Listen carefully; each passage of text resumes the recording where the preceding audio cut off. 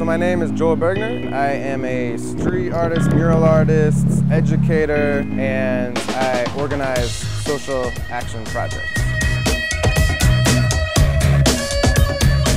I always was really into art and I also was always very into community work. So I worked with the mentally ill, the homeless, I worked with foster youth, and I worked for a long time as a counselor in a treatment center. That was all separate though. I did my art and I did my social work. Then I slowly began to figure out ways where I could bring those two together, my two passions together and do these projects that involve public art and community work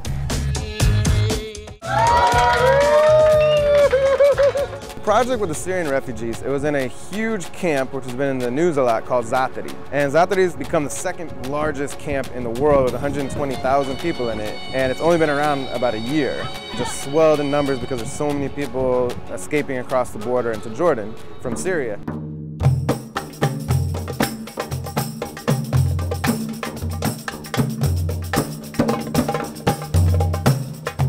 Camp is just a drab, depressing place that's just people don't like to be there. They're used to being from their region of Syria, which is very green and beautiful and has running rivers. First of all, we want to just liven up the place and bring some color, get the kids involved so that they have something to do. There's a lot of frustration. A lot of youth are revolting because they're very frustrated with their lives.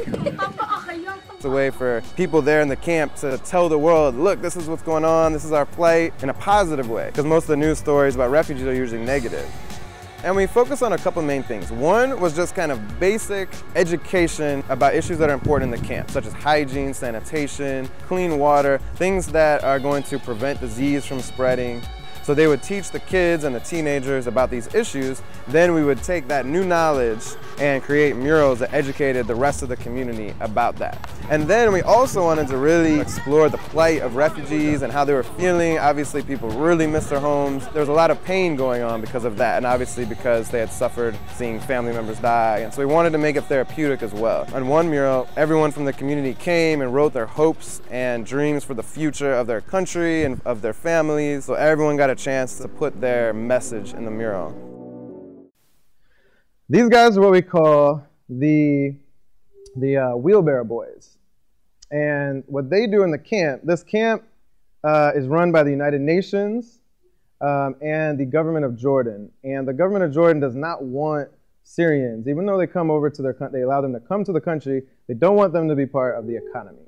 And they don't want them to have jobs and sell things. And of course, the Syrians want to do that. So what do they do? They end up smuggling all these different products into the camp. So you have this big marketplace in the camp with, you can find like ice cream machines and you can find um, people selling clothes and people selling electronics and people selling like, cell phones, everything. And it's all smuggled in by boys like this who take their wheelbarrows and go out of the camp and go across. There's a, a, deserty area. There's some soldiers that sometimes won't let them go, and sometimes they do get to go. And then they get products from Jordanians that that's, that give it to them, and then they smuggle it in. So it's this whole operation that goes on, and it's very dangerous um, for these kids. Here's so one of the things they really like to do besides paint the murals is paint their wheelbarrows. It's actually their favorite thing to do. They wanted to do that more than the murals.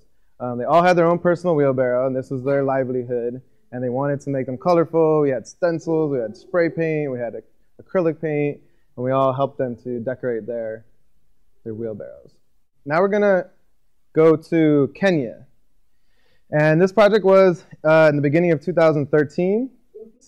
It's a couple months before the presidential elections, and everyone was really scared that there would be rioting and a lot of killing because in the previous election, that's what had happened. We are learning through a series of workshops about peace building and uh, violence prevention specifically related to this election period that we're in right now. So there's a series of murals that we're doing all around Kibera that highlight what the kids have learned and the messages that they want to put out to society. This is very powerful because generally children and, and youth do not have a voice in society, and specifically when they're from a marginalized community like Kibera. So through the artwork, they're able to have that voice, express their opinions, and uh, you know discuss the experiences that they've had in their lives. So I also um, collaborated with a group of graffiti artists, local graffiti artists from Nairobi. This guy is named Bank Slave, which I think is a pretty cool name for an artist.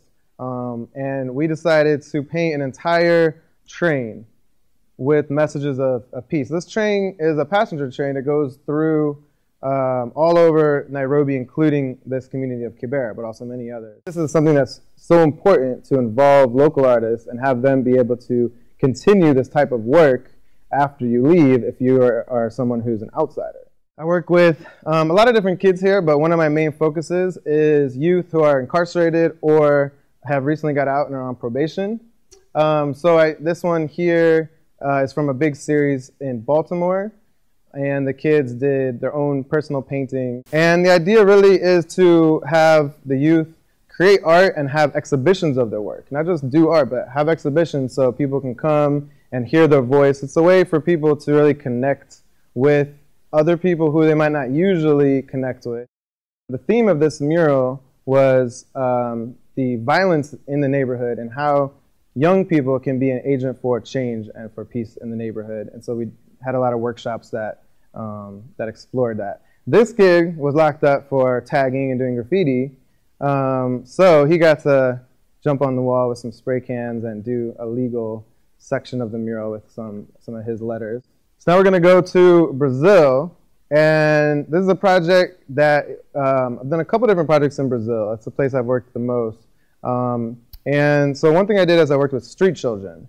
And these are kids that are either homeless or out on the street most of the day because their home situation is so um, chaotic and difficult. The reason why this is so important is because these are kids who are invisible in society, and when they are seen, they're just simply seen as being on drugs, um, thieves, and violent.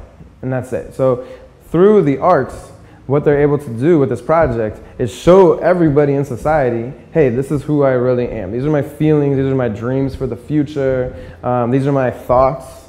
I'm, I'm a human being, this is me. And along the way, they're gonna learn a lot of different skills and they're going to form relationships with, with adults that are going to be positive relationships, which is something they've been lacking in their lives. And that's fundamental to changing their lives.